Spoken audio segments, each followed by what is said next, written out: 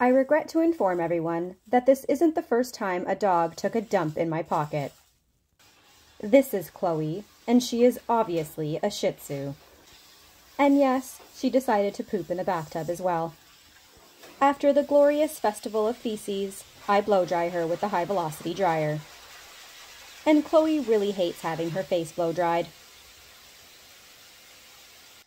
I'm taking her body down today in my half inch wide blade comb attachment, and then I clip her nails. After that, I shave out her paw pads, and then I tidy up her face. I round up her ears, and then I spray her down in our vanilla chai latte cologne. Thank you so much, Chloe, for the pocket present.